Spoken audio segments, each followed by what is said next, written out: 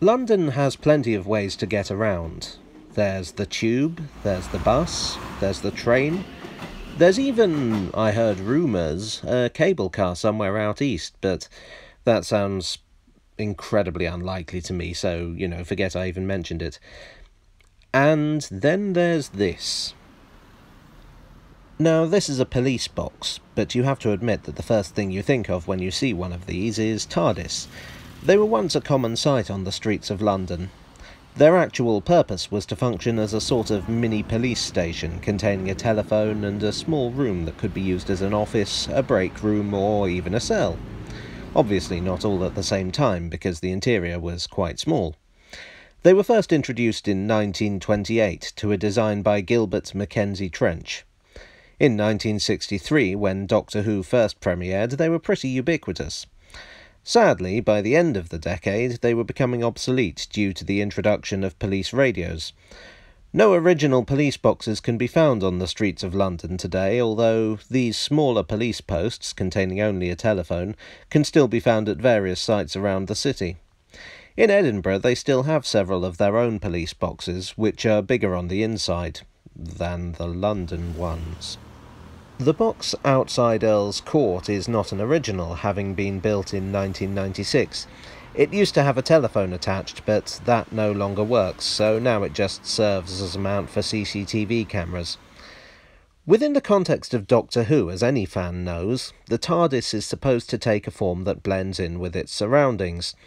But it got stuck as a police box during the first serial, which was initially set in contemporary East London. The reality is that a small box that fades in and out of the scene is far cheaper than an elaborate spacecraft, but, uh, of course, over the last few decades it's become an icon of the series and of science fiction in general, particularly since it's now more famous than the police boxes it imitates. Interestingly, this question of familiarity was at the centre of a trademark dispute, also in 1996 when the BBC tried to register the TARDIS design. The Metropolitan Police objected on the grounds that it was actually their design. However, in 2002, the Patent Office ruled that they didn't really have a leg to stand on, on the grounds that they'd never registered the design themselves, and they'd had nearly 30 years to complain about Doctor Who. Of course, we all know who was really behind the complaint. So, yes, just to confirm, the box outside Earl's Court is not actually a TARDIS and does not function as a time travel device. But what if I told you there actually was a time machine on the District line? Allegedly. It's one stop down the line at West Brompton. Leave the station and turn right, and you'll come to Brompton Cemetery. Now, Brompton Cemetery is well worth a browse in its own right. Among the notables buried here is John Fowler, the first chief engineer of the Metropolitan Railway and pioneer of the Underground. But that's not why we're here. We're here to look at the tomb of Hannah Courtoy. Courtoy was a curious figure. She was born Hannah Peters. She had three children, but she never married.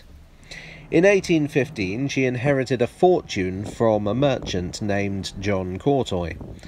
The will was disputed, but nevertheless she inherited the money, took the name Courtoy, and lived out her life as a wealthy socialite. Her tomb is a magnificent one, in the ancient Egyptian style popular among the Victorians. Equally elaborate is the theory surrounding it. The story goes that the tomb was designed by Egyptologist Joseph Bonomi, possibly with help from one Samuel Alfred Warner, his business partner. Warner was an inventor who claimed to have devised an invisible shell that could remotely destroy ships, and which the Navy were apparently quite interested in for a time. Warner and Bonomi, the story goes on, designed Courtoy's tomb in 1849 with some remarkable properties. It was a teleportation chamber, possibly linked to a series of similar tombs in other cemeteries. It could make you younger. It could travel through time. In short, it was a real life TARDIS, although it's not clear whether it's bigger on the outside or whether you have to take Miss Courtoy's remains with you. To be fair, the main proponent of this theory is a composer named Stephen Coates. Actual evidence that suggests this is anything other than a wild story what someone made up out of their own head is conspicuously absent. It's a fun yarn, though. However, I would add one cautionary note before dismissing this entirely. The key to the mausoleum is missing, so technically, we don't know what actually is in there. Hi all. Hope you enjoyed that relatively dimensional episode of Tales from the Tube. If you did, don't forget to like, share, comment, and subscribe. It fills me with joy when people do. And I'll see you soon for another Tale from the Tube.